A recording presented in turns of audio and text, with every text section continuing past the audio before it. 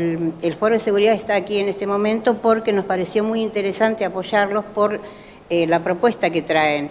Eh, es el de capacitar a los controladores de la noche para que estén bajo el marco de la ley e inclusive hay mucha gente que está, que por ahí un poco se van a asustar, pero a ver, eh, bien lo dice Villalba, la ley está para ser cumplida y en esto implica cuidar a quienes van en la noche, que son mayormente los menores, nuestros hijos, nuestros nietos, que eh, esto implicaría quizás para muchos papás y mamás tener más control sobre sus hijos.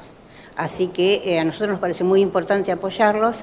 Eh, yo no voy, a, no voy a extender más, le voy a dar la palabra a Villalba, que es, el, es quien va a dar la conferencia y les va a explicar de qué se trata. Bueno, ¿qué tal?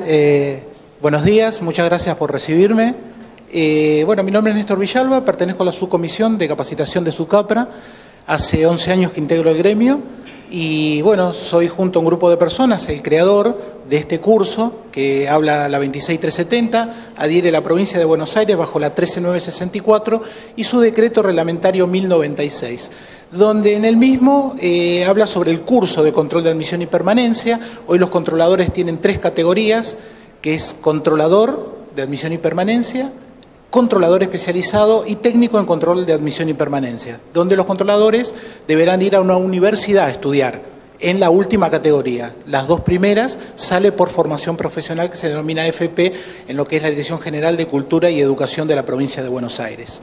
Eh, el curso consta de seis materias, entre ellas vemos lo que es seguridad, conceptos, derechos humanos, comunicación, observación, primeros auxilios en la gestión de los riesgos, y una materia que se denomina PAF, que es este, prevención de agresiones físicas.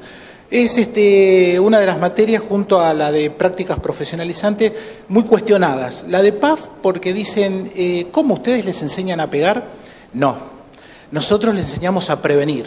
Prevenir es preparar y disponer con anticipación lo necesario para evitar un riesgo. Esa es la definición de prevención y nosotros debemos trabajar con la prevención. Y con respecto a las prácticas profesionalizantes, eh, muchos dicen, pero yo llevo 30 años en la noche, ¿qué me podés enseñar vos? Hay mucho por aprender todavía en la vida. Yo cuando empecé con esto hace 25 años no tenía los conocimientos que tengo hoy en la parte de comunicación, soy especialista en comunicación no verbal, tengo un posgrado en comunicación y gestión de conflictos, y es donde nosotros les enseñamos a mediar al controlador, porque uno de los grandes desafíos que tiene la humanidad es la comunicación.